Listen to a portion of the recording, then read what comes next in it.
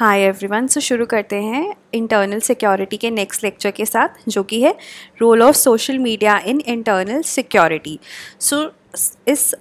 Lecture uh, में हम discuss करेंगे introduction then threats posed by social media with respect to internal security कि क्या थ्रेट्स पोस्ट करता है and the way forward so let's start so अगर हम देखें the extent the reach of social media तो हमें पता चलेगा कि जो फेसबुक है that has reached more than one billion active users world की population is like seven billion so one seventh of those are on Facebook in less than a decade of existence and while Twitter has attracted over half a billion active users in seven years so that is the extent of social media in our lives today every minute 48 hours worth of content is uploaded to youtube next india also has an estimated three point uh, three seventy-one million mobile internet users and is the largest market for social networking site for instance facebook after the us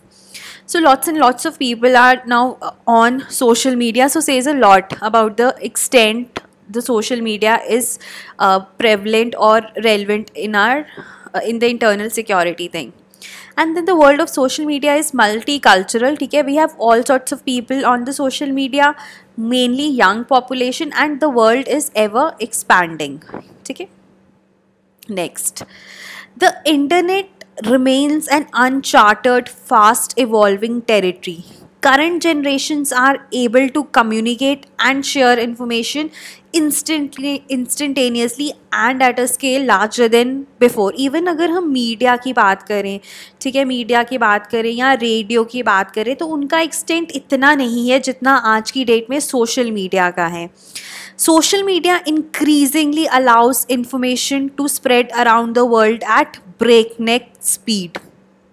and the benefits of this are obvious and we'll uh, we know what are the benefits and well documented our hyper-connected world could also enable the rapid viral spread of information. Okay? We can have this rapid viral spread of information that is either unintentionally or intentionally misleading. Okay? And provocative with serious consequences so that can really have serious consequences for a lot of people and if that that has consequences for our internal security then we will have to pay a, pay a huge price for the same in addition to this we are also witnessing the growth of new new media phenomenon जिसकी हम बात करें तो वो क्या है कि जो पहले ट्रेडिशनल मीडिया था जैसे कि T V that is increasingly relying on the social media to feed its twenty four hour news cycles and picking content and coverage which is led by social media trends तो social media trends are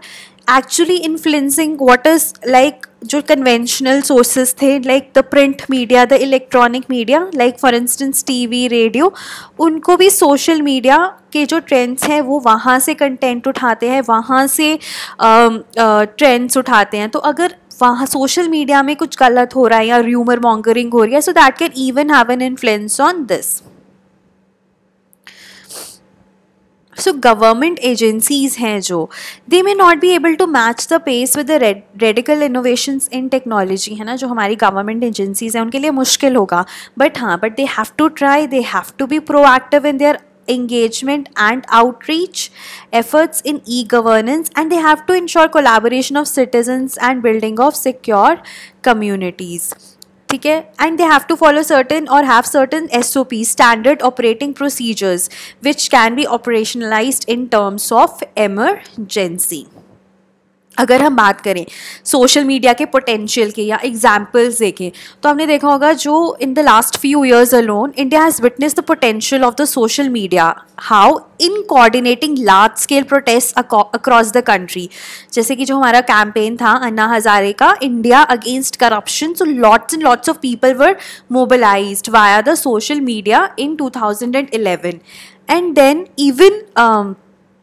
these protests were largely peaceful hai they did test the local security infrastructure in terms of sheer numbers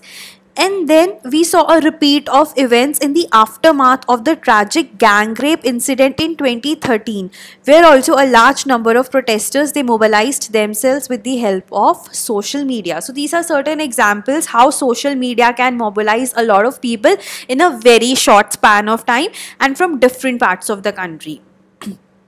पर इसके कुछ negative aspects भी हैं जैसे कि during the जब 2012 में there was like ethnic clashes in Assam and also mass exodus of the North East Indians from large parts of India specially Bangalore ठीक है because of these ethnic clashes तो बहुत सारे जो नॉर्थ इंडियंस थे उनकी they fled from the large parts of the country क्योंकि उनको लगा उनके अगेंस्ट दे केन है people can take action so this this was actually mobilize या ये इसलिए इतना फैल गया क्योंकि mobile and social networks were used to send offensive clips and hate messages and that actually triggered this also uh, जो 2013 में a morphed video on YouTube was used to fan communal riots in Muzaffarnagar in Uttar Pradesh which led to mass panic and riots and led to the death of a lot of people okay so this is how uh, social media can be used uh, in causing uh, internal security problems okay also a propaganda video released by ISIS shows alleged Indian jihadists fighting in Syria and calling for more Indian recruits to join the cause. Again, ISIS is actually virtually recruiting the people through social media uh, channels like Twitter, Facebook, and YouTube.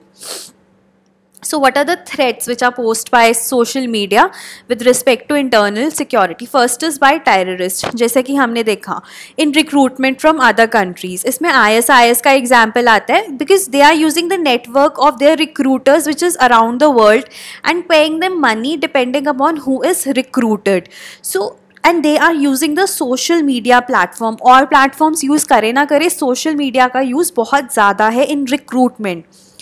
and they are releasing videos of a ta- of to target individuals who are susceptible to its messages of violence and adventure तो जो susceptible है they would obviously be influenced by these videos and they might join ISIS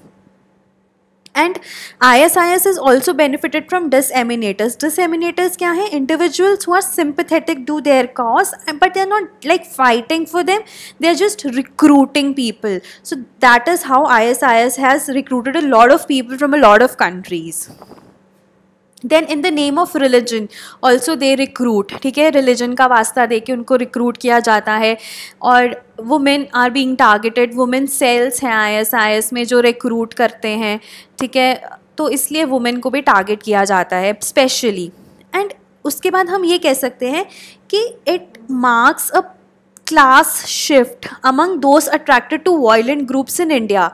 where religious radicalization is thought to be more prevalent among the poor and illiterate. तो ऐसा माना जाता था कि radicalize करना जो poor हैं या जो illiterate हैं उनको easy है But अब देखा क्या है कि जो literate हैं those who have access to social media, who are well educated, are also getting themselves recruited to the ISIS. तो it marks a possible class shift.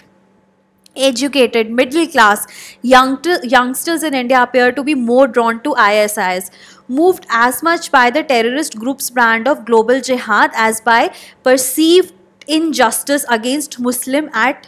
home so they are moved both एक तो वो global जिहाद जो I S I S कर रहा है उससे भी इन्फ्लुएंस्ड है and they are influenced against the injustice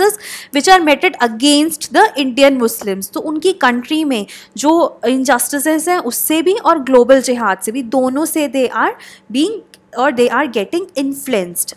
So social media propaganda has been identified as the major medium which is driving this online radicalization and emphasis puts emphasis on controlling the narrative on the perception voice of communities on sensitive issues. So it is the most important जिसे आप कह रहे हो कि manifestation है कि social media कैसे uh, uh, can actually cause havoc in case of security situation in our country.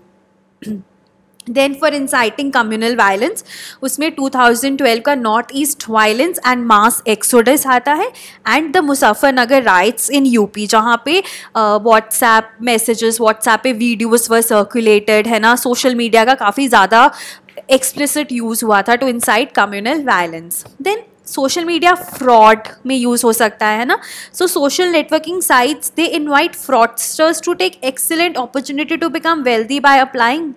to deceiver schemes so fraud में यूज़ हो सकता है तो एक तरह से इकोनॉमिक सिक्योरिटी uh, को या जो फाइनेंशियल सिक्योरिटी है उसके अगेंस्ट uh, उसके लिए चैलेंज है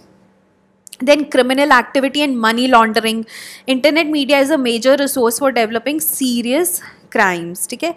तो यही होता है कि online criminals they try to present fraudulent plans in many ways then social networking sites भी इसमें मेजर चैलेंज पोज करती हैं ठीक है and they can actually destabilize the whole system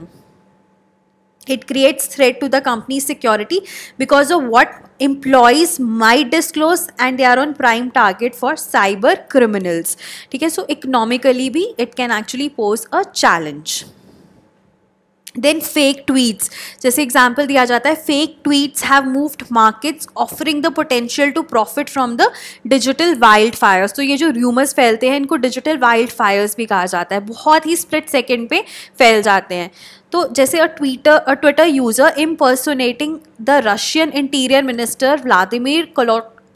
Kolol Koltsev in July 2012 tweeted that Syria's President Bashar al Assad has been killed or injured, which actually caused the crude oil prices to rise by about uh, US dollar one before traders realized that the news was false. तो आपको इतना याद करने की ज़रूरत नहीं आप बस इतना बोल दीजिए कि ट्विटर यूज़र ने सीरिया के प्रेसिडेंट के बारे में ट्वीट किया था and it actually caused global crude oil prices to rise so that is the extent a fake tweet can reach and cause havoc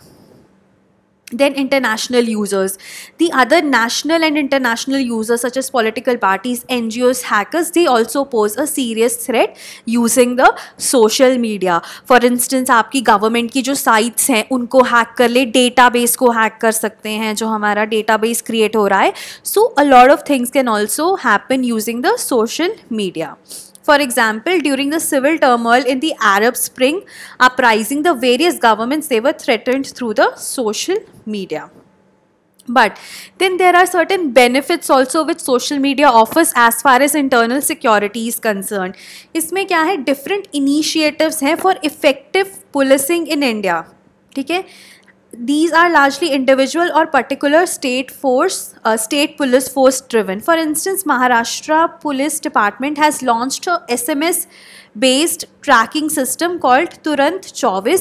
which promises to redress citizens complaints within 24 hours in terms of a first response ठीक है और Mumbai police का एक project है social media lab जो कि basically monitor करता है relevant information from Facebook YouTube Twitter as well as other open sources in the public domain तो पुलिसिंग में भी हाँ जो सोशल मीडिया है वो काफ़ी हेल्प करता है at the same time daily traffic police ने भी फेसबुक और ट्विटर को यूज़ किया है to ease handling of traffic related issues ठीक है Indore police has use to track criminal activity then you have Karnataka police they have also use social media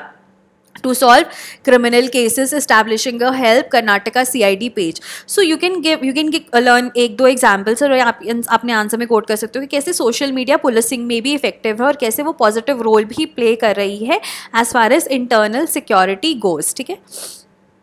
so what is the way forward way forward क्या है कि legal restriction should be placed on online anonymity and freedom of speech are possible routes but one which may have undesirable consequences also क्योंकि आपकी जो privacy है वो एक तरह से hamper होगी इससे so and what is the source of a digital wildfire is a nation state or an international institution uh, हमें वो भी नहीं पता तो हम अपनी कंट्री के लिए लॉज बना सकते हैं हम इंटरनेशनल इंस्टीट्यूशंस के लिए लॉ नहीं बना सकते तो वो भी एक प्रॉब्लम एरिया है ठीक है so social media analysis generated intelligence or SOC meant is being also developed as a successful model in many countries abroad to isolate hotspots or subjects that go viral and is used as a predictive tool. So this is also developed in India. Okay, so these are the measures which you can actually take na, help of in maybe using social media to solve the internal security problems or internal security challenges. India too is looking at these models but it is still at the stage of experimenting trial and error Okay, so that's all for today thank you so much